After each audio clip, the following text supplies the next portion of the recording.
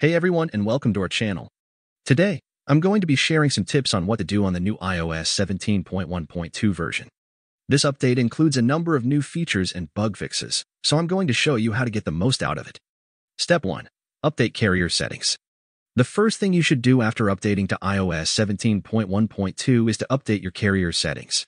This can help to improve your cellular connection and ensure that you're getting the best possible performance. To update your carrier settings, go to Settings. General. About. Your carrier settings should update automatically, but if they don't, you can tap on Carrier to force an update. Step 2. Update your applications. Another important step is to update your applications. Apple has released updates for a number of apps to fix bugs and improve compatibility with iOS 17.1.2. To update your apps, go to the App Store and tap on the Updates tab.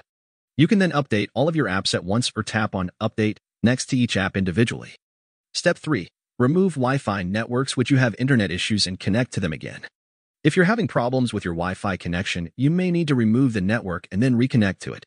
To do this, go to Settings, Wi-Fi, tap on Edit, and remove the network you're having problems with. Once you've removed the network, you can reconnect to it by tapping on it again and entering your password. Step 4. Reset network settings.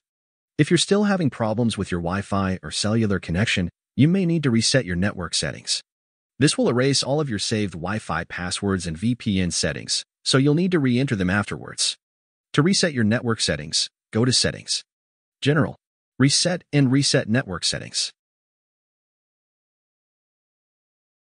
Step 5. Reset Keyboard Dictionary. If your keyboard is acting up, you can try resetting your keyboard dictionary. This will clear all of your learned words and phrases, so you'll need to retrain your keyboard after you do this. To reset your keyboard dictionary, go to Settings, General, Reset and Reset Keyboard Dictionary. I hope these tips help you get the most out of iOS 17.1.2.